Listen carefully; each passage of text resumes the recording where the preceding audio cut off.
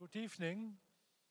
Um, a warm welcome on this uh, beautiful spring day uh, to the audience, but especially, of course, to our uh, great panel that is uh, sitting uh, behind me, ready to engage in what I expect uh, to be a, a, very interesting and inspiring discussion today in this episode, installment of the BK Talks. The title of BK Talks today is Data, Data, Data. And I think I can uh, absolutely say that uh, data is now the most discussed idea subject in academia at this moment in time. It relates to all disciplines in science, engineering, and design. what is data, how to collect data, how to use them, how to develop that into projects for artificial intelligence, etc., etc. The discussion is going on everywhere at this moment, but I think especially the connection of data to design, design being the core activity of this faculty, is still something that really needs to be explored. So I'm really happy that tonight we have BK Talks on data. It's not only a BK Talks, but also parallel to the talks, the coming weeks you can see, I think, a really intriguing exhibition uh, of projects, ideas, artifacts sent in by members of our uh, Bouwkunde community. The debate today will be uh, led by uh, Georg Vrachliotis. He's sitting there in the middle. And I must say, I'm really very happy with his arrival in our faculty now a year ago as a professor of architectural theory and digital culture. because I think he really manages, he knows how to connect the history of data, because data certainly has a history. It's not something of only a couple of years ago, with theory, and then to make that, I think, really complex connection to design. so I look forward to hear the panelists' approach and views on data and design, and maybe other connections as well. Um, I also want to thank the curatorial team, uh, Javier Arpa, Lex Telo, also standing somewhere, and their assistants of organizing this BK Talks and the beautiful exhibition. And that leads me just to handing over the microphone, as usual, to our curator, Javier. Thanks, Dick. Uh, very quickly, I just want to give the word to Georg so that, uh, so that the panel starts. I just would like to thank everyone that has decided to contribute to uh, the exhibition that we are seeing here today. Um, it's not easy to do things so quickly, so thank you very much to those that send their work. We are surrounded by a robotic arm, which is now being installed. Uh, during the four weeks of the exhibition, uh, students will be producing material and designs, and the designs will be placed on the exhibition. Thank you very much to those that uh, sent the, their contribution. Um, we have uh, Chess Long over there, we have a planetoid, we have a, a, version of Frank Lloyd Wright's Robie House, we have videos of how to digitalize, we have virtual uh, reality, we have something that is sensing our heart and that reacts to it. So please go and uh, join uh, and enjoy the exhibition. Uh, I want to thank Georg for uh, Vrachliotis. thank you for uh, deciding or joining the, uh, uh, the, well, for accepting the invitation to moderate, uh, to moderate the BK Talks. He is in charge of the uh, new open initiative uh, that just, start, just started at the Faculty of Architecture and the Built Environment. He will introduce properly our panelists today, Henriette, Seyran, Matilde, Jeroen, and Leo. So I just want to thank very much those that decided to send us their work so that we have an overview of what the school is doing when it comes to digitalization. And thank you very much, Lex, Robin, and Ifra, who did so much in order to have this done in a very few, uh, in a very short period of time. Thanks a lot. Georg, the uh, floor is yours. Thanks very much.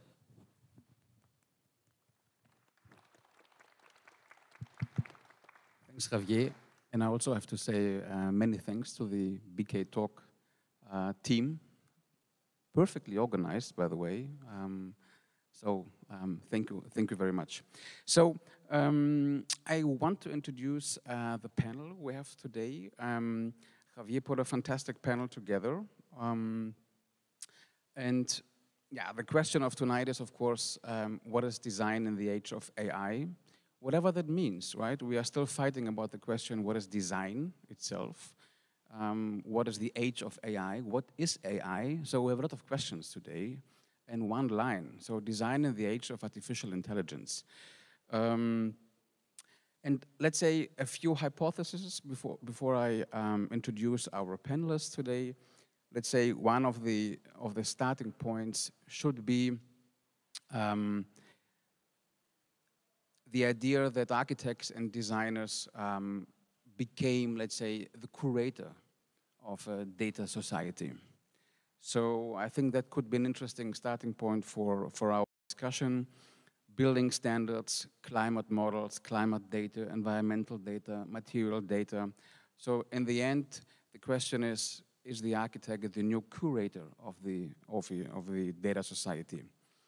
Um, and of course, the second hypothesis is that AI will change uh, how designers and architects think and also interact with systems, with materials, um, kind of analyzing, sensing, monitoring, visualizing, and also um, uh, modeling, of course, um, all kinds of, of objects, products, and, and buildings.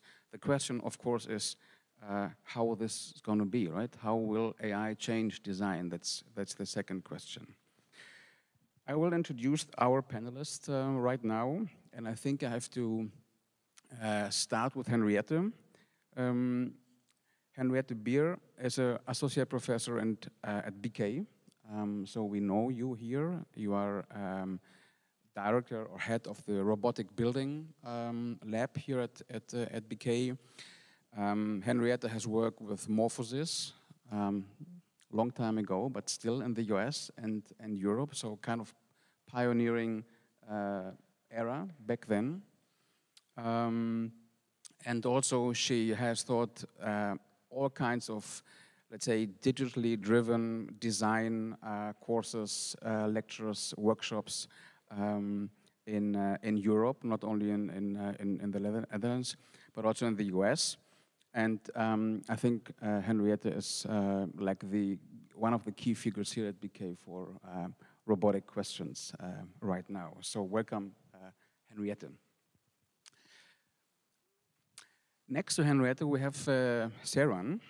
Um, and I'm really happy that Seyran is here. Um, also at, at, at BK, Seyran is uh, assistant professor at the, uh, at the Theory of Architecture and Digital Culture Group, and also the, the co-director of uh, the new AI lab um, at our faculty, um, dealing with um, design, analysis, and optimization in architecture and the built environment. Um, was a, a postdoc researcher at BK um, for a few years, dealing with quite interesting topics. Um, for example, with architecture history. So the idea how to combine computer vision and architecture history. Um, Seyran is the expert for that kind of uh, questions, and now she's with us. Yeah, um, exploring the, the, the big question how to combine AI and design. So welcome, Sarah, and I'm very happy um, that you are with us today. We have uh, Matilde Marengo. I'm very happy you made it um, from, uh, from Barcelona. Um, Matilde is an, an, an, architect, a designer, and researcher um, focusing on something, let's call it urban technology or kind of combination of, of now you are not, you are disagree already, super. Um, let's say how to um, integrate technology into urban questions and urban phenomena. Um, focusing, of course, on, on environmental, social, and, and uh, economic frameworks, right? So it's a, it's a bigger picture. And Matilde is head of studies and also faculty and a PhD supervisor at the Institute for Advanced Architecture of Catalonia's Advanced uh, Architecture Group. So um, uh, IAAC, right? OG. Welcome, uh, Matilda. We are very happy that you made it, and I'm really curious to uh, to hear your story um, today. We have Jeroen van der Most um, next to me. Um, no architect, um, but you told me, uh, like back then, a trained data scientist, but now working as a uh, as a media artist. You are creating um, art with data, um, algorithms, and also uh, with AI methods almost 10 years right now. Um, so I think that's going to be really interesting. Um, and for now, your, your research focus, it sounds very academic, but your artistic research focus um, is, the, let's say, the, the relationship between um, AI and natural surroundings or, or environment. And his art, of course, um, is, is exhibited around the world. You can say this also in the New Zealand National Museum. It's quite interesting. ZKM, of course, um, Dutch Design Week, and also the AIF in Hong Kong. So welcome to our panel. It's, uh, it's a pleasure to have you here.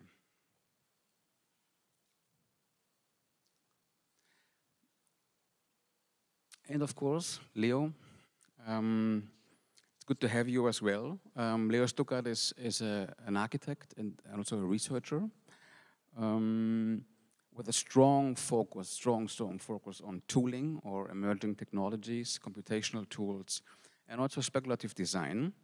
And almost six or seven years ago, um, you joined MVRDV, uh, founded uh, MVRDV Next in 2017. So you're now the the, the head of this think tank or the, the director of this think tank. Um, you did a lot of research at the uh, Institute um, concerning the new normal, um, building a, a, kind of platform um, connecting design uh, and also governance-based uh, deep learning. Um, so um, yeah, I think it's going to be fun, uh, Leo, and I'm really happy to uh, to have you. So what does it mean to design um, in, a, in a data society? I want to open this um, big question by um, kind of historical footnote. Um, since Christopher Alexander passed away last week, I thought it would be a nice uh, gesture to uh, start with, uh, with a very young Christopher Alexander. Um, and actually, um, few of you know maybe that, that Alexander was one of the first um, architects, but also design uh, researchers um, dealing or, or kind of critical um, dealing with issues of data and, and digitization. Um, we are in the 60s, 64, and you see here the manuscript of the very, very first, let's call it data conference in architecture uh, with a wonderful title, Architecture and the Computer. It's still an unknown territory, right? So let's call it the computer. And Christoph Alexander was there as a panelist, um, 64. So he was around um, in, in, the mid 30s. And he was quite critical, by the way, um, concerning data. And I want to share with you um, you can see here Christoph Alexander next to him, I think uh, Chermayeff, uh, back then, uh, I think dean of GSD. Uh, I'm not quite sure, but um, uh, he was, a, uh, of course, a leading um, influential figure in, in East Coast. And you can also see the topic of the panel, Christopher Alexander was into it, computers and creativity. So it's not that far away, right? And of course, you ask yourself, like, okay, this is 64, now 22, still talking about creativity, still talking about should we involve the computer, and if yes, you know, what are the limitations, what is design, um, all these things, in a sense, uh, is part of architecture history. That's the message, right? And the message of Alexander um, to the audience, um, I, I will read it for you, no worries.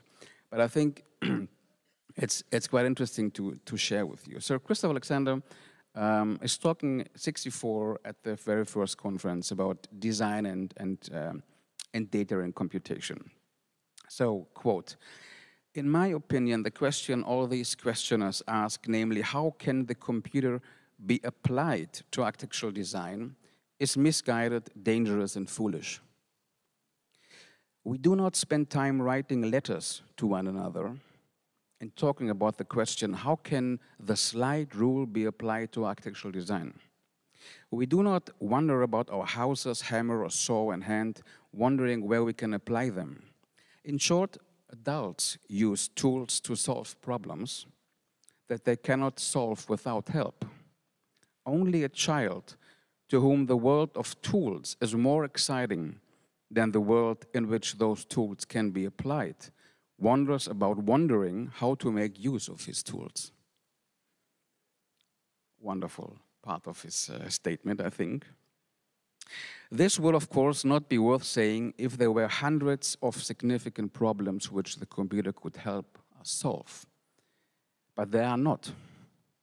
A digital computer is essentially the same as a huge army of clerks, equipped with rule books, pencil, and paper, all stupid and entirely without initiative, but able to follow exactly millions of precisely defined operations. There is nothing a computer can do with such an army of clerks could not do if given time. Quote end. So, My first question, of course, Leo, is for you. You are the tooling head of MVRDV. What would you say to Christopher Alexander today, and how would you explain your work to him? uh, first, I need a quick um, clarification. I'm, I'm, not the head of the group. That's uh, now my co-founder, Sander van der Borg, just, uh, uh, just to get it out there. Um, what I would say to Christopher Alexander, today. Sorry, can you just uh, specify a little bit in, in which context in regards to? I know, I know that child? you are that you are responsible for building and developing new tools mm for architectural design. Now, Christopher Alexander says to you, Leo, I'm sorry, I have to say it's just you know for kids. Please go outside and solve problems, and don't play with the tools. So, what is your answer? I mean, I think that that's what we're doing, and this is probably the reason why we uh, founded such a research group within an architectural practice and not as a standalone or external consulting company. So I think that uh, at the core of what we're doing is a very direct relation between solving a uh, uh, problems or exploring, defining problems uh, in the moment of making tools. That's, uh, I think the, this kind of simultaneity of addressing the problem and building the tool for that tool, I think is uh, for that problem is uh, key of how we work. You would so, uh, disagree with him? Yeah, I think so. Yes, I mean, I, so, I mean, on the part of being a kid that's more excited looking at the tools than at the problem, certainly. Yeah. Matilda, you would disagree as well. You said yes. Yeah, yeah, yeah. I mean, I, I think he's he's not uh, far off in the sense that, um, in some way, uh, I guess what's difficult about today is the amount of data that we have, no? So the amount of clerks that we would need, and therefore the computer, to some extent, or the capacity to compute information becomes essential um, because the level of complexity that we're dealing with in, in contemporary society, or the level of information that we capture also because we all carry around mobile devices, we all produce great quantities of, of digital information. Um, I think that you know he's he's not far off, but in the sense that the level of complexity is so high now. Um, I think it's interesting that he he asks, you know, so it's not about asking what can the computer bring to design, but what are the problems in some way um, that we know in design that could be sold by such an army of clerks. Um, and I think that these, I guess, in some way, we're in a kind of snowball effect because with the higher amount of data that we produce, we also produce information on more and more problems to some extent. So I guess the question is, where does it stop, maybe? Or how far does it go? Um, Leo, um, can you describe um, a bit generally uh, what is the importance of tools for design? Um, well, concretely, in, in, in our case, it's uh, mainly, I guess, looking at workflows within our practice, within MVRDV, um, really ranging from early concept design, from sketching, from form making, from massing studies, from grasping a design context, doing an analysis of, of, that, all the way up to execution and uh, the deli delivery of uh, construction documents. And I guess what we've been doing over the last six years mainly is analyzing this, breaking it down into small chunks, looking and uh, also looking at it, of course, in different contexts, which I think is um, maybe a key point, I guess, for any form of digital tools is the geographical and cultural context in which you embed them. So as MVRDV is operating globally, we do build design tools for European contexts, but already if you operate in China, of course, this works very different, mainly also due to data scarcity and um, geopolitical um, challenges. So I guess um, the main point that we've been doing is analyzing this and building very small, almost more like plugins, hacks, extensions, for very specific problems within these workflows. Uh, and therefore, I guess one of the key ambitions is to increase uh, speed, automation. It's a large machine that we operate in. And on the other hand, of course, accuracy. That's, uh, I guess, on the practical side, that's the part that has been justifying, I guess, our existence within the firm and also um, for us to grow it up to, I think we're six people full time at this point. Of course, we also try to look at it from the other side and uh, maybe more through speculative lenses and also through um, looking at what kind of tools do we want to make, what do we want to, um, how do we want to design, right? Like, because I guess the first part that I described now is more kind of problem solving and logical deduction, where almost existing processes determine the tools that we build. But of course, we try to also look at it from the other side, and the more experimental side, and more, I guess, like how do we want to design what is needed Speculation is the right keyword. Um, um, Matilde, can you give me three terms um, that you think will be important in the future um, for the relationship between design and AI? Design and AI. I think this is the topic today. Three, three terms. Um, uh, well, disruption, cognition. Cognition cognitive capacity. Yeah. Um, and do can you I think about her? it? Which one? Which one? I want to think about the third one. Leo, do you have the last one? Uh, maybe collaboration, maybe? Collaboration. Okay, Sarah.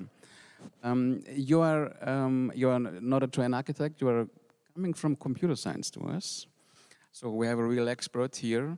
Now we have three terms about the future of design and AI: Dis disruptive, collaboration, and cognition, right? Um, could you comment a bit on the three terms from your perspective? Uh, well, uh, I have to know uh, in what context uh, you put this. Uh, so, for example, the cognition, what do you mean? Is it like a design cognition is a separate kind of cognition, for example, that you need to design, or is it within the same that we uh, perceive it as all human basically does have uh, these properties. Can I, can I hear your answer on both? Yeah, okay. so there are two levels basically. So there these expect, uh, expert cognition and the one that we all as a human share. Um, and would it be like the next uh, frontier for AI in design? That was uh, your uh, question. Yeah, I, I, mean, we have, I think uh, Leo said, yeah, it's about also about speculation in design. So we want to speculate a bit. And now we have three terms, which could be like the, the play field for, uh, for the discussion, but also maybe uh, for, for uh, a future discussion, how to relate design to AI. Uh, disruption, cognition, and, uh, and collaboration. Um, and still the question, Sarah, from your perspective, comment on these three terms a bit. Um, um, also from AI perspective, for example, uh, um, collaborative AI tools or methods or models, um, cognitive-based um, methods. Disruption, I think that's an interesting, quite complex term. I would be curious to know more about this, uh, but feel free to speculate. Yeah, the, this is actually very interesting. Um, well, uh, I'm coming from the discipline of computer vision, which actually uh, looks at how uh, people perceive uh, visual data and how can we mimic this in the artificial sense, right? So how artificial intelligence can do that. And uh, architecture is by nature, by nature very visual, right? So the, most of the communications mm, between the designers actually pass through visuals and uh, they try to communicate by uh, modeling buildings uh, uh, within different forms and, and different tools actually. Uh, and, and designers have this ability to perceive these visuals, right? Um, this is somehow very special and like expert skills. So not everyone can make sense of a floor plan, for example, right? So this is a form of cognition that we are talking about, uh, architecture cognition, not general uh, cognition. Uh, and actually to make sense of all these data that are uh, created and generated by architecture, uh, we need AI models and, and intelligent tools that can uh, basically perceive these visuals within the same level as an architect. I mean, the end goal, that would be. So that we can actually categorize and uh, transfer all these data that is scattered around uh, uh, us into useful information for architects so that they can make a decision based on what data can offer. So I think cognition, if we, well, relate that to cognition, I would say yes, that's exactly what uh, uh, the, next generation of AI would be busy with, which is a very difficult task indeed. Um, and it's, it's very interesting because I think everyone is so fascinated with um, something that um, AI can do so far. If you ask public, maybe they give examples of, uh, for example, uh, AI beating uh, our um, human champion in chess or AlphaGo or these kind of games. Uh, and still, if you compare it with um, the cognitive abilities that we have as human, uh, I would say it's quite laughable. I mean, a toddler could describe this scene um, very naturally, I would say. A toddler could just start speaking, right? Our computer vision models are still quite blind in that sense. So uh, there are very different levels. So there are uh, these very, um, I would say, specific tasks that we could automate it, I think, with a uh, faster pace, I would say, and that would come maybe in a very near future, like um, in, in five years or so. And then we have these generic tasks that require really um, combination of, uh, you know, human intelligence that it takes, um, seems to take forever. I think it's very interesting with the text that uh, Georg showed. It was around the same time, uh, 60s, that Minsky actually at MIT um, asked uh, students to solve computer vision within a summer project. And in many interviews, uh, he mentioned that within next generation, we would, we would have um, general artificial intelligence with the same level as humans uh, we still far, far from that point. So there were very optimistic people at the time that would promise things, well, which led to somehow AI winter, that they call it, and, well, critical point of view on what computers can do. This is interesting. It's interesting, uh, Sarah, that you mentioned Minsky, because Minsky was also at the conference. Oh, okay. Didn't know that. I chose, of course, Christopher Alexander to, you know, let everybody know that he was a quite interesting um, figure in, uh, in between the disciplines. You mentioned um, optimistic view of Minsky. How important is optimism um, today when it comes about, you know, on communication of technology or AI models? How, how important is it for you to to represent an optimistic face of AI? Well, I think uh, as basically universities, well, we are, uh, we have to be critical about what could come with a new technology, right? So, but that doesn't mean that we uh, have to criticize everything without uh, pointing to the things that needs to be changed and fixed. And it's like pure criticism. It's not uh, what, well, it's not constructive, right? So I think we need this sort of optimism because, well, we, we need to cope up with the new condition. And it's better that we have, uh, we act on it uh, as soon as possible, right? And then for that, we need to um, familiarize ourselves with, with the topic a bit, because if we don't know what is this and then how is working, basically, it would be very difficult to be an active player.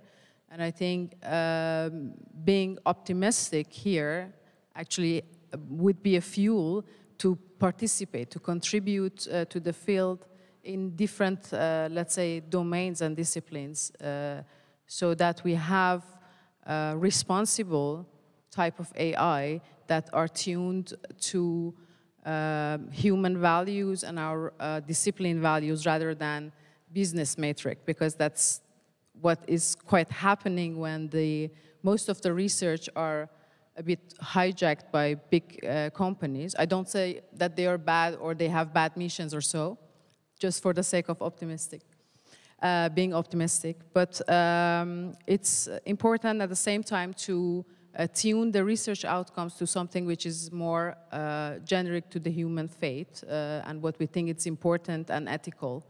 Uh, and I think universities would be maybe naturally the best place to pursue that. So we need to remain optimistic. Um, follow-up question, Seyran. Um, I think that's a very important point right now, like the, the, the, the challenge to be optimistic when it comes about, um, you know, on technology. This is not that, that easy. But of course, it's super easy to be critical at the first um, step, you know, and just say, yeah, that's, that's, um, that's yeah, something called AI. But on the other hand, of course, there's also a kind of a com communication bug because talking about AI, and even on the panel here, we create a kind of agency. We, we say AI can do this or AI can do that. So talking about tools, agency, and also the AI, I think it's also the communication which brought us somehow into the corner of the debate, where you always have to argue, you know, no, I'm doing research with AI, I'm not, you know, uh, programming a drone or whatever. So I think that's a kind of a topic which is on the communication level. But I have another question, Seyran. Um, when it comes to research, I think you're right, the optimistic way of, of, of dealing with technology um, could be academia, right?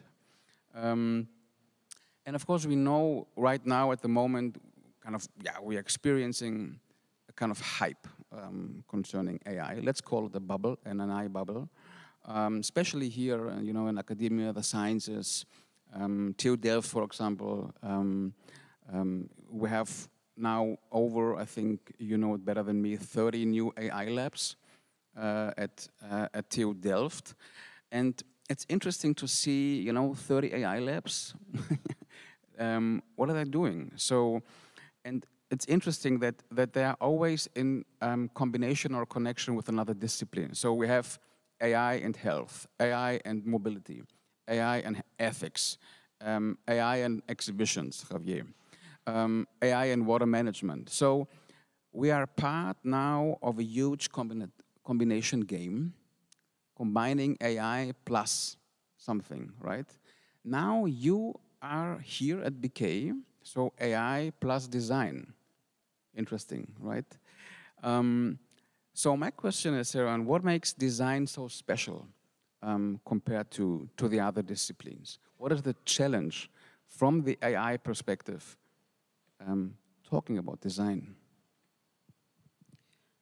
Um, I would say it's a complex nature. You uh, need to combine many, uh, let's say, um, skills to be able to an analyze and then synthesize something which is very high level of intelligence, I would say. And so far that was not possible with, uh, well, our um, kind of primitive, uh, let's say, AI models that would, uh, yeah, focus on uh, recognizing cats from dogs, for example. That's not what we want to solve here.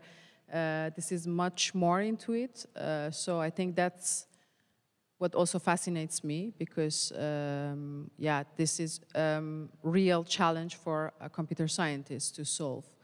Uh, how to make sense of all these kind of uh, multifaceted data and how to automate the whole process in a sense. Uh, that's, I think, the next level, and this is a right place to, to test this idea, I would say. Uh, maybe, uh, yeah, it, it, it, I think there were like more disciplines that uh, they were more ready uh, in a sense. So, um, for example, I would say in um, medical imaging, for example, those tasks were very specific and um, it was quite easy to start with it in the image processing era, even before the computer vision. But uh, now I think um, it, it's a different, uh, let's say, playground.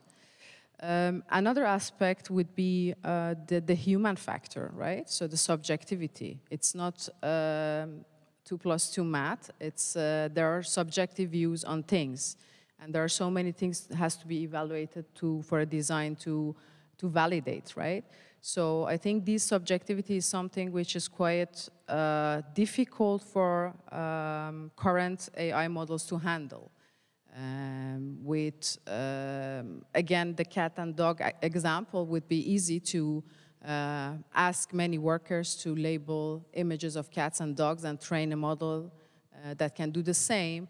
However, uh, recognizing different functionalities of a building, typologies, uh, I don't know, the, the quality of the design, um, how can you connect all these aspects into the, uh, let's say, geographical, uh, let's say, bed where that, that building actually exists. All these things, uh, there are subjective views on this. Different people have different opinions. How do we handle opinions?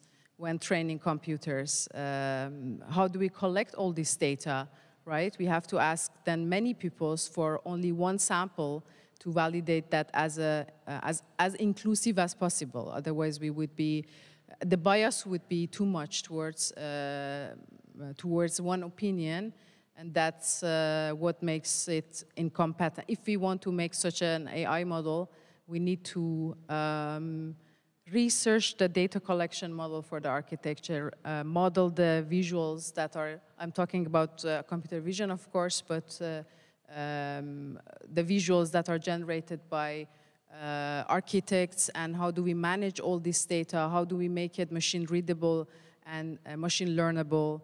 Uh, all these aspects needs to be, I would say, investigated. Very nice making sense of things, you know, making sense of data. I think uh, that's a very interesting uh, aspect for you, Jeroen. I, th I thought art artists are responsible for making sense, you know, for us. What do you think? Now it's the AI. Artists are responsible for making sense. I, I wouldn't know if that's the case. I, I, think researchers are here for, for to make sense of stuff. It's artists who pose more questions or, or try to inspire or provoke or um, but making sense? I don't know about that one. Let's let's say posing creating questions right? Um, you are dealing with ai methods and algorithms for a long time right now. Um, this is the reason why um, you are here on, on the panel. Um, is let's say specialized on visual data right? Um, computer vision now, um, could you explain us a bit your last um, piece of art um, dealing with text? So text-based AI um, artwork. And could you explain also a bit um, what is the question of this piece of art? If you say you are creating questions. Yeah, sure, no problem. Uh, one of the uh, yeah most prominent examples is a project that I've been working on uh, for the past two years, uh, together with uh, an acquaintance of mine, Peter van der Putten. He's uh, associated with Leiden University of the Media and Technology Department there. What we worked on there was to use uh, text generation AI. Actually, uh, so GPT-3, uh, one of the strongest models still, I guess, to generate uh, text, one of the biggest models. So it can really create this really fascinating human-like uh, textual content. Can you explain the machine a bit? GPT-3. GPT-3 is basically a system. They call it uh, large language models. And the difference between, you know, text generation AI from a couple of couple of years ago would be that, uh, well, for example, a couple of years ago, I created an art piece uh, about Nietzsche, and I used text generation AI to, to let the system create new lines of text as if they were written by uh, Nietzsche. And what you would do then is actually take a couple of books of Nietzsche, or maybe a lot of books he wrote, and then put them all in the system, train the system on it, and then it would be capable of actually generating stuff that's, well, you could imagine it to be like uh, something Nietzsche might have written. written. Now, GPT-3 is a large language model, and the process there is a little bit different. So they already train it on this huge volume of textual data. So it's basically, the exact sources are not uh, public, but it's basically said that it's more or less trained on this volume of text, like uh, a volume like the whole textual internet. So the interesting uh, stuff there, what you can do with that, uh, that's a lot of text, I can tell you. that's what you get interesting uh, stuff you can do with it then is actually give it really specific assignments. So without training a specific model, actually giving it really specific assignments. So you could uh, ask the system, uh, write me a song, uh, lyric text, like if it was written by Kanye West or Kanye or Jay, I think you have to call him today. Or you could ask the system, uh, give me a description of the physical health of a cat, for example. Fantastic brief, design brief.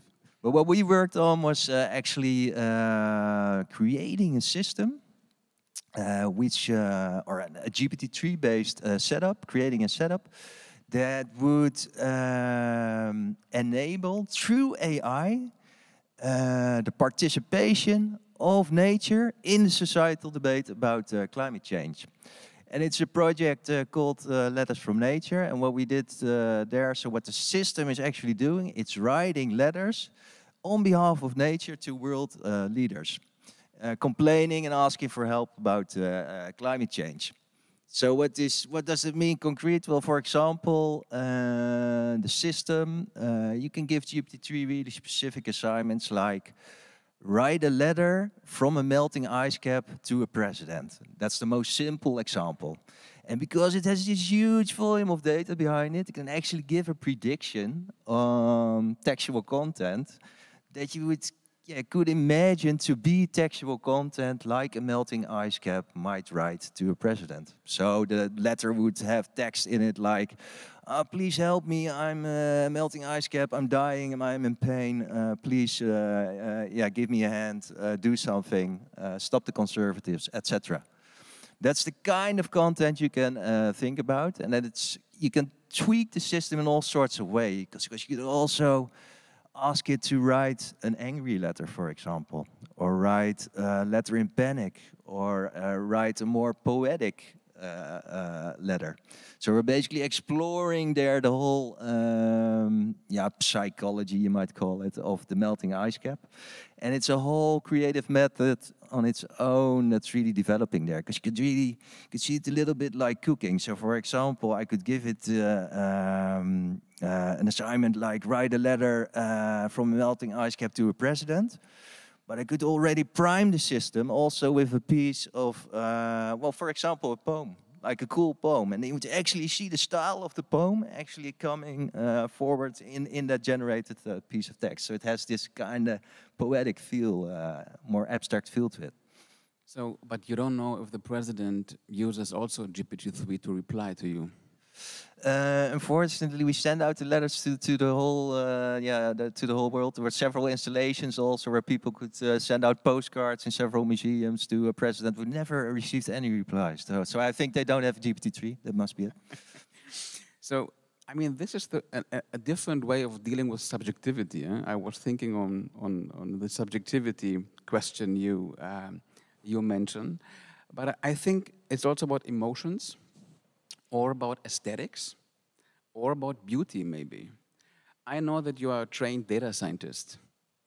And um, the question of, of beauty, it's a very sticky question, of course, but let's say the aesthetic field of, you know, talking about beauty. What is the relation between data science and, and beauty? Yeah, beauty is of course a very broad uh, are theme. I can see, I can see, poetic questions and, I can and see, letters. yeah, I can see already beauty and art already also in the development of an algorithm to some extent. So Yes. there's beauty in the simplicity of a formula. There's beauty in so there's beauty in data science. My preference would go to more artistic uh, beauty, so more visual or poetic beauty, which I don't know. It's kind of it's it's different at some level. It, it touches something deeper than purely, in my opinion, than purely the the, the beauty of a mathematical formula, for example. Um, Matilde, you you are you are dealing um, also with all kind of aesthetics, uh, and but from a different perspective, right? More from fabrication, let's say, or the ecological, um, um, or you say, um, yeah, computational design point of view. Um, we have now the the idea of nature uh, on the table, letters from nature. Um, and you you also work, let's say, yeah, in the interface of, of design, digital culture, and ecology, which I think which is super exciting, uh, uh, promising field. And you focus on something um, you call ecological modeling, um, and also ecosystem services. What is that? What are ecosystem services? Um, they're services provided by ecosystems within our urban environment, which can be, um, for example, procurement, uh, regulation. Um, so, for example, if we pick an apple off a tree, we are procuring um, food. Um, regulation, so for example, the management of heat island, urban heat island effect can be done through sort of vegetative strategies or ecological strategies within the urban environment. Um, and so the idea is to sort of work in a framework where we can provide cities with multiple ecosystem services.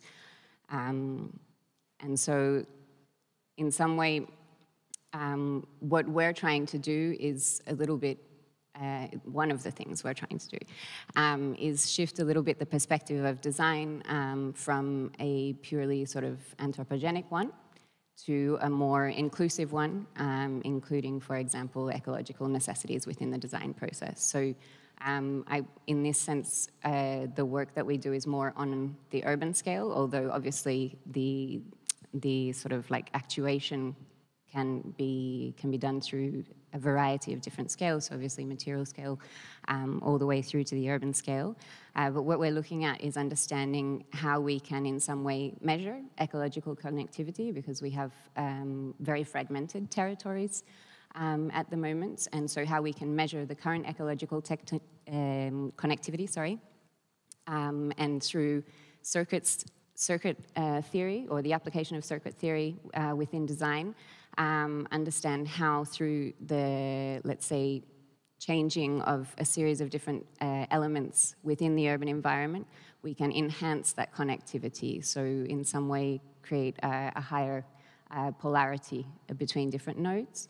Um, and, and with that idea, uh, we in some way design not only from the perspective of the, the, or the people, um, but also from the perspective of uh, the animals and the plants um, from an ecological perspective. And um, what Sorry, is- can I just say something? Of course. Do you know Client Earth?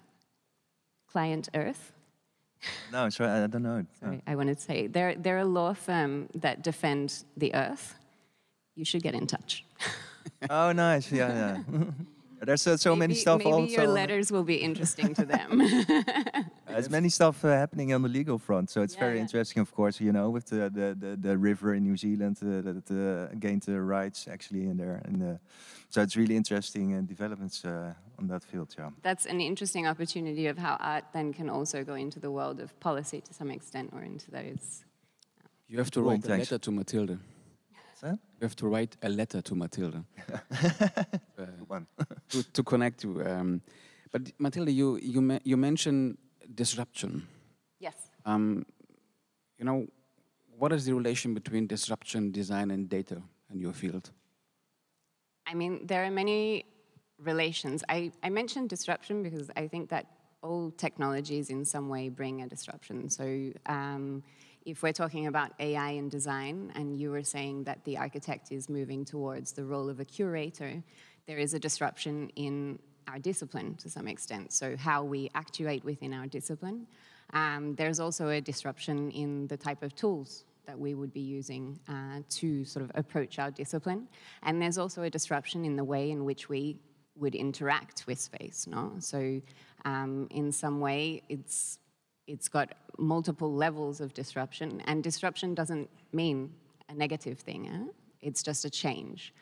Um, I think that before you were saying something about um, sort of this. Um, we have the question of optimism and then we have the question of being critical. And, and I couldn't agree more. We need to be optimists.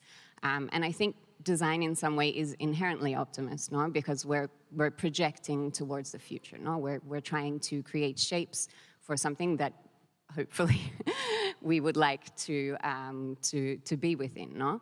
Um, and, and I think that there, uh, the critical aspect is actually for me also really important because we always need to see, you know, like every technological step, you invent the plane, you invent the plane crash, no? So what is the plane crash in these scenarios? So we need to be critical in some way and try and have a view, and it's, it's impossible to foresee all of the plane crashes that will come.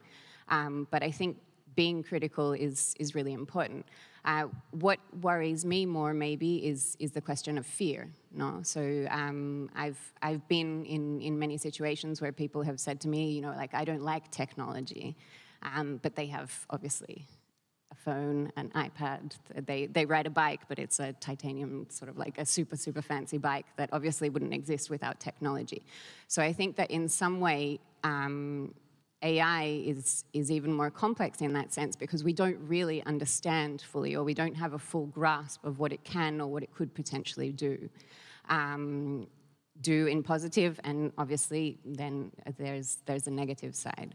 Um, so for me, in some way, the the optimism in design is really important with a critical eye, um, and then maybe what what I would be wary of is is the fear, no. And I think how I think it's super difficult today to be critical. You know, when it comes to data and AI, what does it mean? Critical thinking. I mean, it's like, of course, we are in academia, but the question is, do we need new tools to even be critical? Well, that's a big one.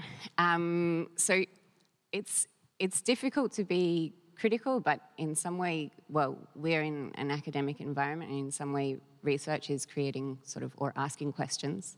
Um, so it is per se critical, no? Um, what did you say before? Yeah, you want to help Matilde a bit? No, no, no. I just can't remember what you said before. I wanted to say something. Do we need new tools to be Uh, do we need critical in the age of AI? Okay, so sorry, I, I had a, a mind blank. Um, so I don't, I don't think we necessarily need new tools, but what is what is the difficulty, in my opinion, is the the capacity to navigate this information, no? Because we are in everyday life, sort of um, in a context where we get a lot of information. So first and foremost, what is the fake news, no? So, um, for example, I was reading an article on the BBC News the other day um, that was sort of pointing out what are all the fake news in the, the war against in, in Ukraine. No, so even newspapers now have to publish articles on what is fake news, and then obviously you ask yourself the question: Well, are they telling me the real news, or is it the fake news, or you know? So I don't know if we need new tools. Um, but what we do need is to actively engage and understand, you know, where does this information come from? Um, and that's in like from sort of reading papers to really understanding, you know, where where is this information coming from? What is the perspective this information is coming from also? Because obviously different disciplines have different approaches to the same question often, no? Um, so in that sense, we also need to understand what we can contribute. So critically looking at ourselves and what we can contribute to the, the, the situation that we have in front of us, whatever that may be.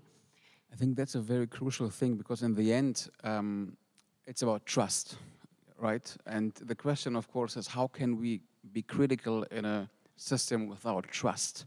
So it's a big question, of course, but I think that's a quite interesting um, debate for next panel, maybe, let's see, um, about data and trust or um, trust in technology in the age of AI. Um, you mentioned the uh, the fake news. Maybe one last question, uh, Matilde. You in in your institution or your institution in, in Barcelona, your lab, um, um, uh, called itself like platform for the exchange of knowledge.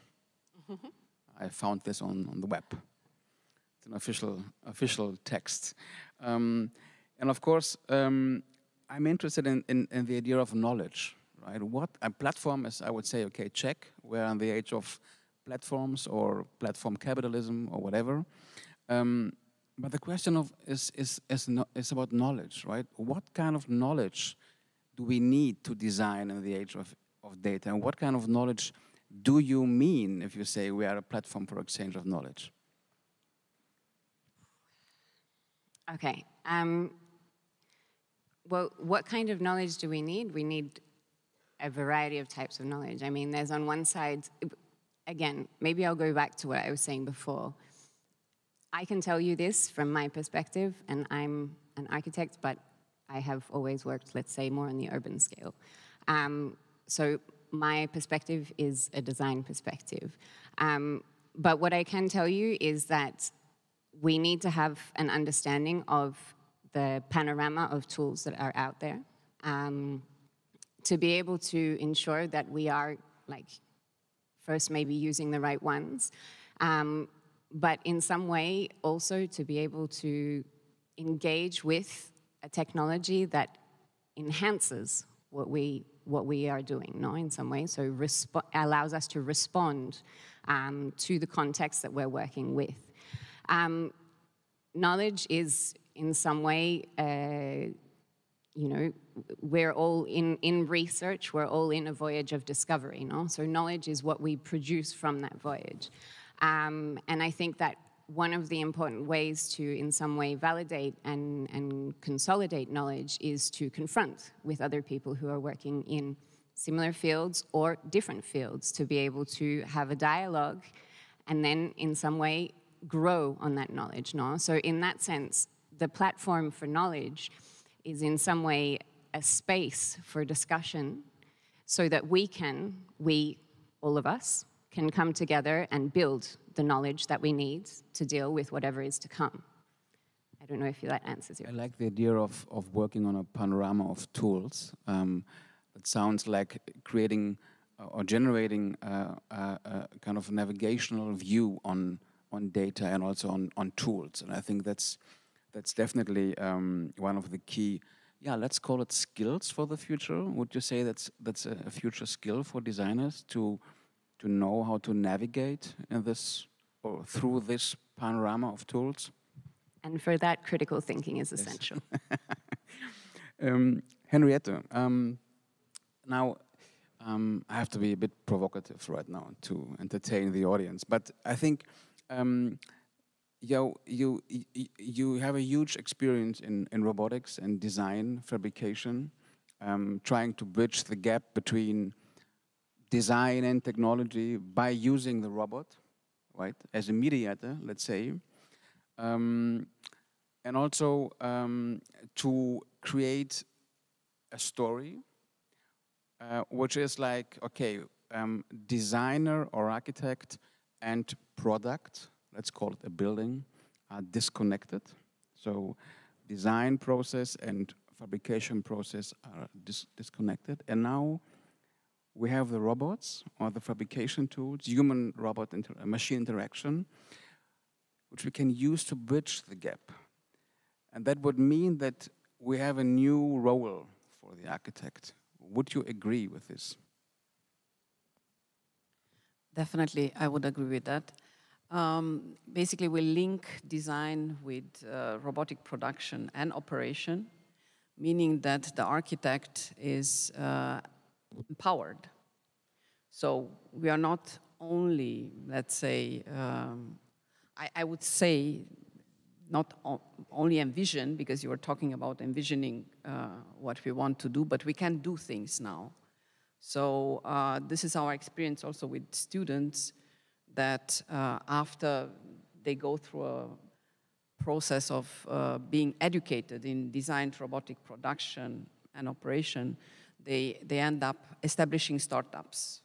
And they indeed, they don't go the traditional, uh, let's say, uh, way of becoming an architect, but um, they uh, feel more empowered to um, practice they, their actually um, architecture uh, without basically following the traditional way.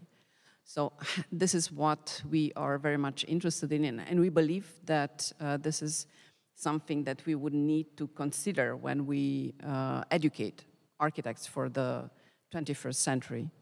Um, in particular, from the perspective that uh, we know that 50% of all tasks are going to be automated, 45% uh, are going to be human-robot interaction uh, supported, and only 5% remains in human hands. So for us, the question is, okay, so what, what is going to be automated? What is going to be uh, uh, human-robot uh, interaction supported? And what remains in human hands? So um, we explored that more recently with, with actually with Seyran and with a couple of colleagues from um, cognitive robotics, with Masters 2 students, um, but also in, in several projects where uh, the question of human-robot interaction in relationship to automation is, is uh, becomes extremely important. But I mean, have the last 20 years, or let's say 30 years, um, or 20 years, um, shown that this this belief, you say I believe, so this belief and also this hope um, has been hijacked by industry, by the construction industry, question. Um, so we can say, um, and it's a provocation, uh, Henrietta, for you. Um, but of course, I mean, if you if you see the landscape of robotic labs worldwide, um, and of course, it's like you have to disagree with me, but we are still producing pavilions, let's say, and, and models for exhibitions, for uh, art biennales, while out there, um, you know, the construction industry is building buildings using robots. So what's the difference? What's the motivation for us to still believe in robotics? Well, um, as, as, I was mentioning before, knowing that actually 50% of all tasks are going to auto be automated, uh, I think the challenge for us now is indeed to identify what can be automated versus uh, what results from human-robot interaction. So um, the question of how fast this takes place, going also back to, to what you're mentioning and also what you were mentioning at the very beginning. So in the sense that if we look back at the 70s, of course we see that, um, let's say the projection for the future, in the sense that I was thinking that we would develop much faster, just put it in simple terms. So um, I, I also, let's say, go through, through these phases of development. But I do believe that at this moment we are far enough to make the next step.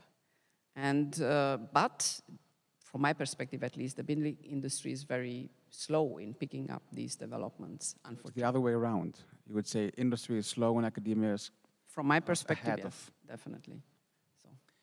Do you, do you think that um, this kind of um, human-machine interaction or the field of robotics um, need a new narrative for the 21st century, or can we still use the narrative from the 70s or 60s, saying, yeah, we can, we can, we can empower the architect. This is like the master narrative.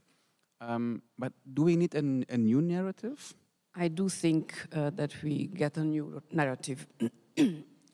um, the, I think that the main difference, at least from my perspective, is that um, yes, the architect is empowered, but, but uh, the architect starts to share, let's say, um, agency with non-human agents. So the creation of, of architecture and of buildings is not anymore uh, only human driven, but it's basically a, a combination between uh, artificial and, and uh, human agents. Can you briefly uh, let the audience know what about experimentation or the experiment? Um, if you, uh, how important is the idea of doing experiments um, with design and technology to yeah, navigate um, and explore the, the in-between field? Uh, from my point of view, it's, it's extremely important. So basically, our projects are, are very much experimental. From our point of view, um, finding out basically what, what the technology uh, can do for you. So instead of, let's say, um, trying to, if, if you can draft something with a pen, just do it. Uh, don't try to use other technologies if, if, certain technologies are just better. So this is why for me also the question of when to use AI or if using AI um, is, is necessary or in which processes we do that, uh, it's important. So, and this is why I think experimentation plays an important role if you basically really focus on what the technology can offer you. So I think often the, perhaps the, the question with respect to what we are doing is that why, why do we choose a certain formal language or what's, what's re relevance of, is this art, is this architecture, what it is? So, uh, but I think finding out indeed what, what um, you can do with the new technology is extremely important and use it and basically use it in the right way. So, um, talking about experiments, I think we should uh, we should do a, a, small experiment right now, and I would invite you uh, for a quick speed round um, on on the following questions and and topics, and I would like to ask each of you um, to comment on the on the uh, on the uh, on the topic. So, first one, um, Leo, what is design data literacy in the age of AI? Just think out loud.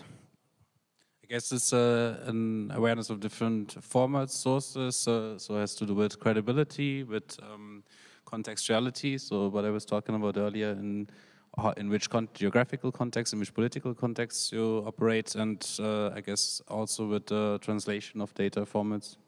Matilde.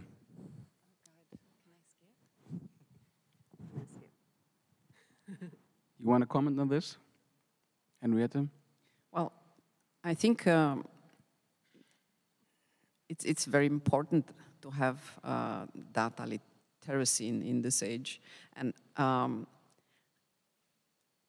I find out while working together with the computer scientists, roboticists, that um, there's a lot of work to do to get, let's say, to have some level of literacy. So um, that's my comment. So we okay, have to hurry up. We're, we're I mean, I, I, can explain why yeah. I skipped. Um, because I understand data literacy, but design data literacy? Yes. So is it the data literacy relative to the design Very good discipline? observation, Matilde. Sorry? It's not the data literacy we know, it's the design data literacy. And I think that's, that's maybe, you, you talk about the panorama of, of tools, yeah. And about navigating the, the landscape of tools, and I think that could be something what we would call design data literacy. Okay, well then I think there as well, I mean, to, on one side to be literate in data-driven design is obviously to know the tools, um, but as Henrietta was saying before, um, you know, it's not about applying the technology just because we can apply the technology. It's about critically understanding where the technology can in some way be useful to allow us to go further than we would if we didn't have the technology, no? So. Okay, next one. Um, Jeroen, what is storytelling with AI uh, in architecture for you? Storytelling with AI in architecture. Well, I guess, uh, although I'm not really involved in architecture, uh, most of my artworks are also kind of stories that you tell. For example, speculations about futures. So storytelling uh, with AI in architecture could be it could be about all sorts of stories. So it could be about speculative designs in architecture are really about nature and people together through AI uh, designing buildings, etc. Yeah. Seyran, storytelling with AI. Yeah, storytelling to me is uh, putting abstract things in context. So uh, I think storytelling with AI in architecture is using an AI to again make sense of data and put it into the context of architecture. Wonderful story. Thanks. Leo, data versus information versus knowledge. I don't want to skip that one. um, Who wants to help him? I, but what, are we supposed to say what they are, or? Whatever you want. Well, I mean, data is the raw material. Information is when you combine it in some way and use it, and knowledge is what you produce out of that process. I hope. Would you agree, Leo? yeah, yeah. Uh, I guess it's a kind of maybe a chain of making sense of it uh, uh, as a raw pool of, inf- of data, which can be clustered or categorized into information, which then can be at some point formalized or agreed on also culturally as knowledge. Would you, would you agree that there's one term which cannot be capitalized Cannot be capitalized. By industry or business? So data, data is capital, information is capital. What about knowledge? It's capitalizable. Yeah, yeah. So if you are a platform for exchanging knowledge, you, are, you can be capitalized. Yes, by others. That's disruption, Matilde. okay, I would disagree um, with. Uh, I, I think knowledge is not uh, is not a capital which c- cannot be capitalized. I think information, yes, data, yes, but knowledge is this kind of space we are creating here, this debating uh, and and discussing. So I would say uh, maybe we have we can create a platform for you know exchanging knowledge, but knowledge itself, I think uh, is, is something which is not uh, part of capital. Um, yes, um, I think knowledge definitely was um, capitalized earlier. So we move more and more towards open, let's say, knowledge sharing, or at least that's uh, that's the goal. So uh, and there are many platforms. So for instance, we couldn't. If I if I look back at at the technology that we have been using some time ago, uh, and I look at what happens now, in the sense that, for instance, uh, Rhino and the plugins and the possibility to customize your own software. This was not possible uh, a while ago. When I did my PhD, I worked actually with computer scientists together to get to some result. Uh, nowadays, we, are, we, we have basically access to this, to this uh, knowledge, and we co-develop the no- knowledge. So definitely, we, I agree with you when you say that, that uh, we move towards decapitalizing, I'm calling it now, uh, knowledge, but um, we are not that so far. If you look at AutoCAD, if you look at et cetera, et cetera, you're going to see that um, AutoCAD is a tool, huh, Leo? It's not, it's not knowledge. That's another panel. That's another panel. But I would still disagree to just entertain a bit um, the. Um, yeah, go ahead. Yeah, I was just. Hello. Yeah. Um, I was going to say that I, I agree in an ideal world, knowledge shouldn't be capitalizable. But then there's direct There's no pro- there's no capitalization product. and indirect. So even what we say here, Yeah. so there's no, pro- and there's a, it's a never-ending story. Generating knowledge is there's an endless uh, debate, literally. So I think to capitalize knowledge, you need a product somehow, um, which is which is maybe not possible. But let's you know let's keep it like this. Um, problem solving versus speculation. Seyran. Well, this is a difficult one. Um, I think a speculation is more related to intuition, uh, something that we, when we accumulate knowledge, we have uh, some intuition when we are dealing with or facing with problems. Uh, and that's basically the seed for problem solving. Problem solving is uh, more of a process of approaching uh, the goal of solving the problem. We need a problem. Matilde. Yeah, I mean, um, I guess problem solving put on the table presumes that there is a possible solution. No? Um, I think that in design, we use speculation as a design tool to actually do the process of problem solving. So, in some way, push some specific type of information to an extreme to look at what would happen if we continued in one particular way, to identify maybe what are the most critical issues, and they are the first ones that we want to deal with within the problem solving context. Yeah. Um, so I think that in, in design, in some way, they're used uh, together. No, and I guess Henrietta, you also like when you're when you're and, and we do the same when we're doing the prototyping and the testing of different sort of processes um, within the lab, it's a little bit understanding, you know, speculating, well, could we do this? And then you understand that maybe that, that isn't the ideal scenario for the problem solving, or that's a really good scenario for the problem solving, no? Data generalist versus data specialist. Jeroen. And ask me, ask me please, not what does it mean. I, am I'm for, responsible for the question. Now, of course, well, we're heading towards more uh, importance of data generalists, of course.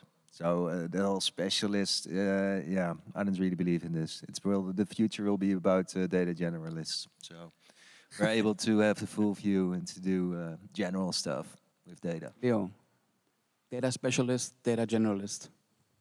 Amanda was still in the previous one. I think the um, yeah, probably the, the trend is more towards general uh, concepts and understandings. Also, I think you mentioned earlier the idea of general idea, uh, AI already, know, um, which I guess is the long-term dream and also maybe the moment where it would become more useful for designers. Um, so certainly, I think as designers, we would be probably located, I would assume all of us on the left side. okay, building versus network.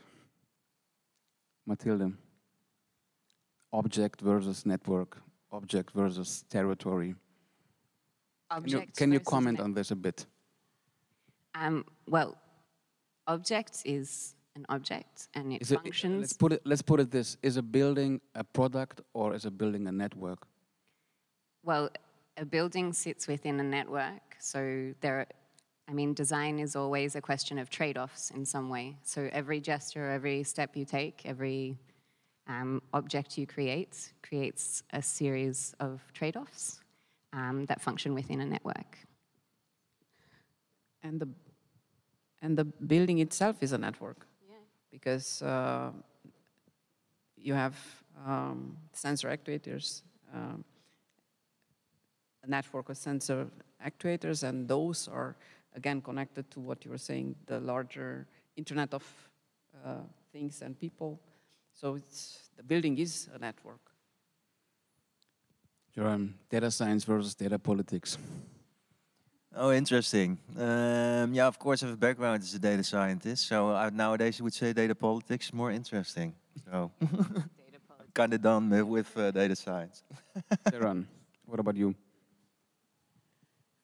Well, I think that the nature of uh, science is that it has to be falsifiable. So it's critical, right? So when we talk about data science, is that taking data and be critical about how it works, how do you process it, what kind of hypothesis you're going to prove or disprove with it. But data politics, it's like you have a goal. You want to um, get the data to reach that goal. That's to me. And the last one for today, which is like the opener also for, for, for the audience, mindsets, not only data sets. Leo. Say Leo? uh, so should we agree or ex uh, explain, it, interpret? Comment, comment a bit, Spec speculate a bit. Well, I mean, I think, uh, yeah, so I think that um, maybe the, um, one of the points that that I kept on thinking about, and, and, maybe also going back to the keyword that I gave, but collaboration, is the idea of I guess the role of the human and the designer within this pool of different tools and different data and different technologies, all of this changing and being disrupted and, and evolved. And I guess the mindset within this also has to has to evolve for the designer, no? like a kind of very fast way to adapt and to change and to think, which um, I mean, also I guess it's like what Mario Carpo in the second digital turn describes as the shift from well digital tools as ways that that help us to change how we make things to change how we think about things. So I guess maybe it's a nice way to to wrap this up because it puts the human really or the designer as like the kind of puppeteer of all of this. Perfect. Um, thanks a lot. Um, thanks to the panel. Um, open for questions. I think, Javier, there's a mic down there. So um, be brave enough to come down to ask your question. Yes, it's over there.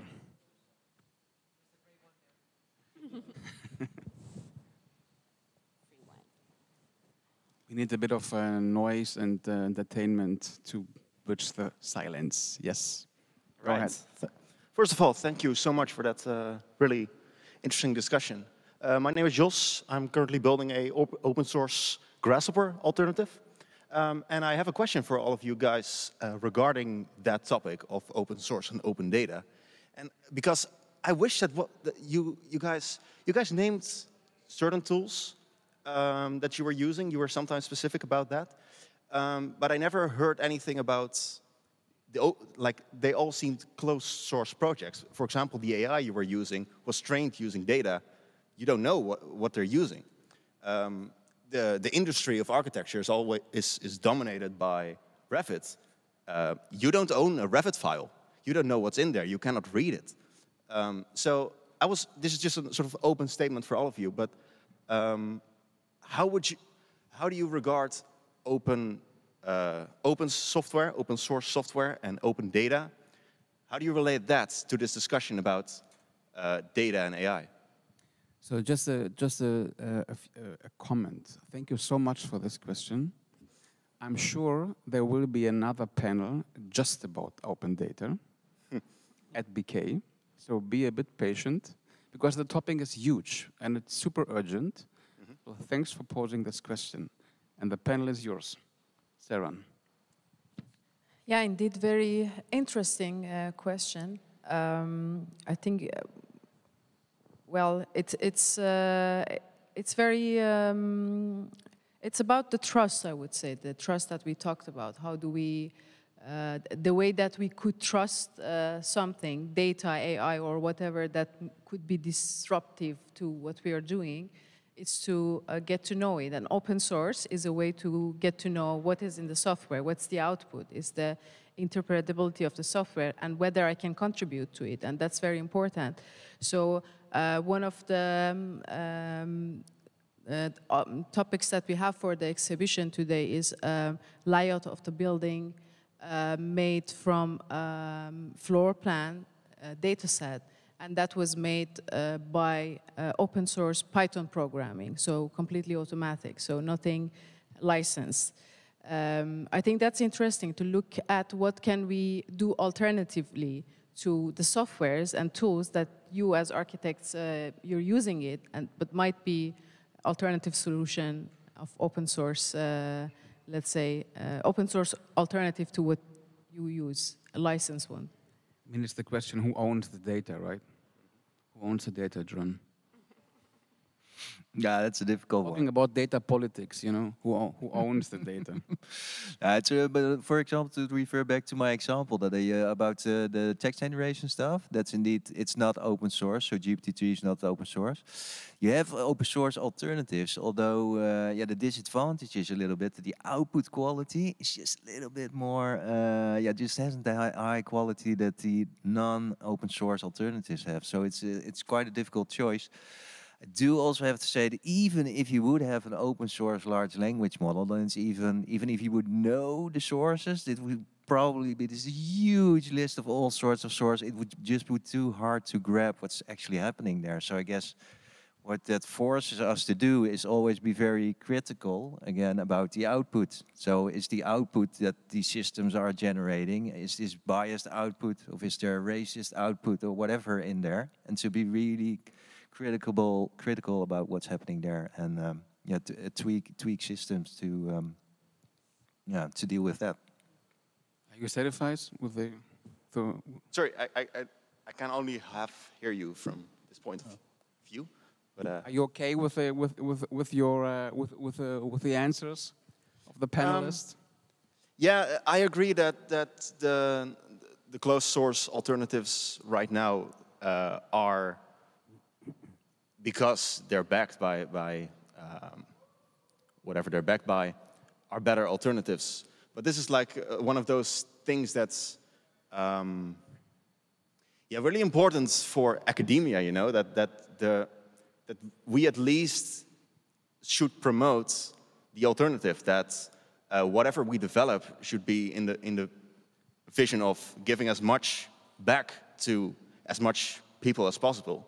And I think for that purpose, um, there's only one path. You know, there, like, it's, it's going to be really weird to um, do anything else. Um, but I understand that if you want just the best performance, you want the best out there, um, then the closed source path might be the way to go. Okay, thank you. First of all, um, Henriette, you want to answer? Is there another question?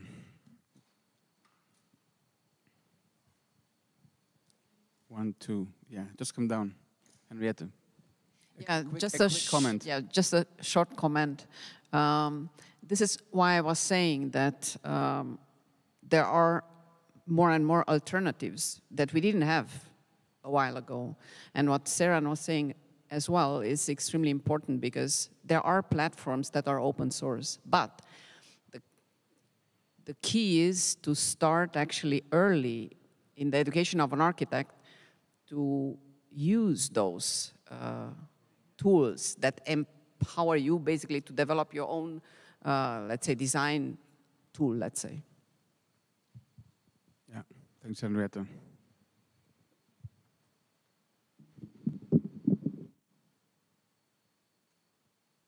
I was instructed to move around with the microphone, so I will do so. Uh, th thanks again, everyone. I have basically a follow-up question to what you mentioned before about the, the open source, closed source. Ah, so I should be here. Okay. okay. Thank you all again. Uh, so my, my, my question is basically picking up on something that Henrietta mentioned about the authorship beyond, you know, the human-centered authorship and to what extent we are willing to share it. And I think it's, it's super important. And actually, it was very amusing what you said about Nietzsche. You know, would it be Nietzsche if, you know, we actually, you actually have an AI replicating what he's saying? So what's the author- authorship there? And I want to, since we have representatives from research, from education, from the industry, I'm wondering first to what extent are these disciplines and these domains ready to accept such a shared authorship? And even more, what it would mean if these AI, these tools were actually now open source. Not just as, you know, who is actually claiming the value, but also who is actually having responsibility and liability. I mean, imagine, let's say you publish a paper on science or something, like, and it's an AI writing it. Can you really debate with it, like argue with it? Or, you know, do you design a building and then, you know, someone is complaining, you know, who is actually the author of it?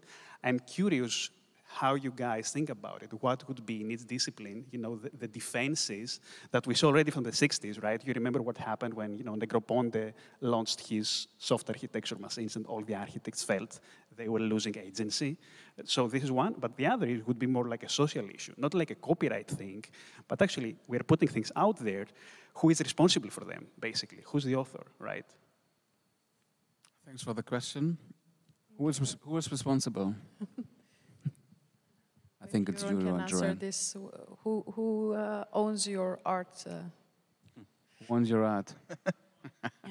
It's very yeah, it's a very good one. But uh, it's still me who owns the art. I wrote an article. I'm not uh, far from uh, uh, an expert in this field, but I wrote an article last year on it with a lawyer uh, on ownership. She said I'm still the owner, so that's good news. The idea of responsibility, I think it's a quite quite uh, big issue. You want to comment on this? Thanks for the uh, for the statement, of course. Mm. I, uh, I don't know. I was just thinking, maybe from our perspective, from the industry. Uh, maybe the question is not so much about ownership because that can also be settled uh, or clarified not through agreements with uh, closed uh, source software. I think especially at the moment where maybe more and more digital tools embed something like knowledge in them, uh, in the tool directly, um, for us it's a question of transparency. And I think you see that a lot at the moment with how more and more larger, especially larger architectural firms are getting involved in building their own tools around anything under the umbrella of uh, sustainability. And I think one reason there is that there's a need for us not only to use a tool to upload a building, fill in a few settings and get carbon scores, embodied carbon, operational carbon and so on, but to be actually aware of how, what are the methods and how this is calculated and um, what are the assumptions that are embedded within this, uh, within the algorithms of this kind of software. And therefore it's a need for literacy and which yeah, is a form of responsibility, you know, in uh, claims that we can make towards buildings that we intend to, that we propose to be built in the future. But I like the question because it's about the human, so-called human factor. It's, uh, it's, also a nice term, right? The human factor. Um, and it's not only the question who owns the data, but also who owns the data scientist. You know, speaking about making sense, we need we need expert to you know to deal with the data. So it's not about data; it's also about the knowledge, about the people. What can I? Good. Of course. So I guess, um, Nikos, I would ask you, why is authorship so important as a sub-question? Um, but I think in any case, in, in research and in design, we, we collaborate. So Leo said in the beginning, collaboration. Um, they're all collaborative efforts. I guess the question is now, can we consider AI as one of the collaborators or as someone who, something, well, some entity that can be considered one of the authors or one of the collaborators. Um, and I think that's a question to some extent that we need, we still need to answer. Um, but in any case, it's never just the AI, no? The, the designers or the people working with the AI have chosen certain elements to sort of um, to to to work with. Um, obviously, you know, like I don't know, there was a um, the AI of this space here, no, uh, over there in the exhibition. And there are like, I don't know, 20 images of this specific space. Um, if you're using that within design, there would be then a selection process. Again, that would be a collaboration as far as I'm concerned. Um, so I guess the question is, why is authorship important? And on the other side, can we consider AI as one of the authors? Um, we have another question.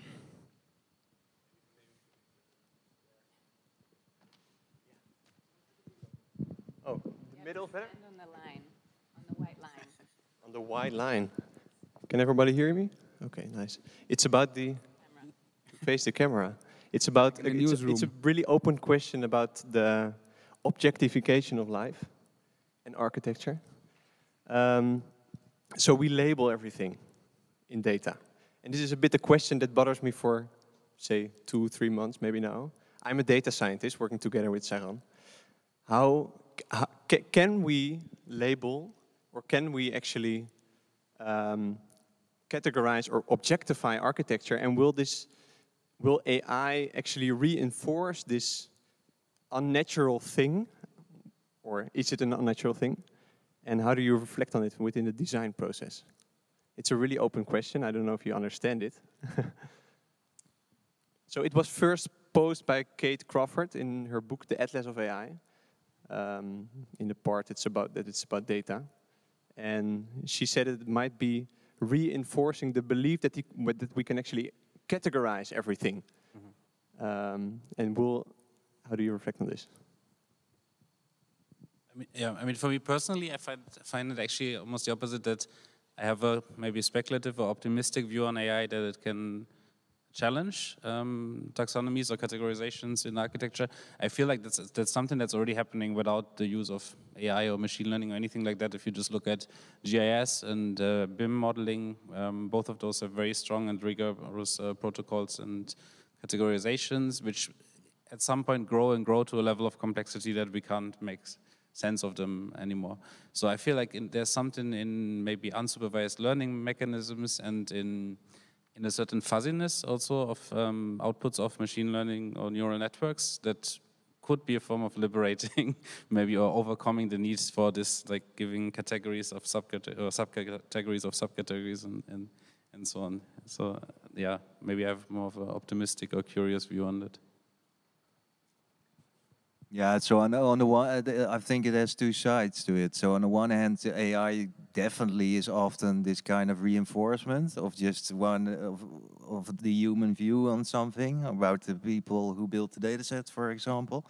On the other hand, you could also use AI uh, Eh, in more inspiring ways to actually yeah think or come up with new labels that you might not have thought of yourself. So maybe to go back again to gpt-3 or these kind of image recognition based textual description systems could also generate all sorts of, you know, you could look at the building and it could be labeled like color, material, uh, you know, the really dry stuff. But you could also label it with more poetic uh, descriptions or more, uh, I don't know, uh, compare it to paintings. That's something you could build with uh, AI. So kind of give this like uh, painting art-wise, like textual description of what a building is, for example.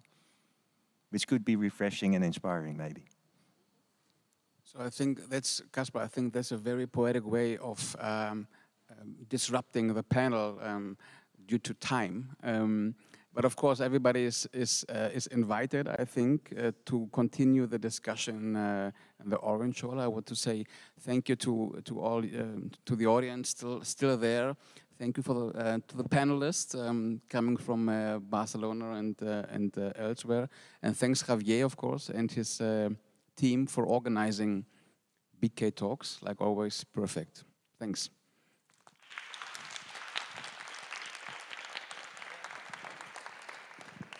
Thanks a lot. Thanks everyone, panelists, moderator, for accepting the invitation. Um, I just want to invite everyone for the next BK Talks that is going to take place next April 7th. It's probably uh, been the most difficult BK Talk to organize since I started this adventure two years ago. It's called Apocalypse. I guess everybody's sort of rejecting that term. So uh, I have had many difficulties to organize a BK Talk that is called Apocalypse. It's been canceled, I think, three or four times due to COVID, due to disruption. So talking about apocalypse is, of course, a uh, very uncomfortable uh, matter so if anyone wants to join, there's still room here on the floor because I have the impression that um, many experts don't like to talk about certain topics. So I don't know uh, I don't know what we are going to talk about exactly. Uh, what we want to do is to, address the current planetary urgencies. Not only planetary urgencies, but the urgencies that surround us.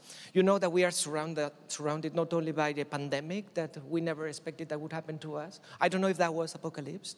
Uh, we are now in the middle of a war. We didn't probably expect that war was going to happen. I wasn't. Um, last week, there was this impressive Sahara uh, storm dust which covered, I was in Spain at that moment, which covered the whole country in orange, uh, thinking of the idea of this apocalypse. So what we would like to do or to talk about on April 7th is about speeding up official agendas. I wonder if that's possible in the midst of this amount of urgencies. Can we, as citizens, do more and faster? How to reach true social and ecological justice? How to address rampant urbanization? Overpopulation, migrations, aggressive misogyny, imperialism, white supremacism, capitalist exploitation of the earth, or an artificial intelligence takeover. So, um, besides uh, having a drink, I invite you all to join us on April 7th and try to discuss some part of this and find, I don't know, some agenda for the future. Thank you very much and see you soon. Bye.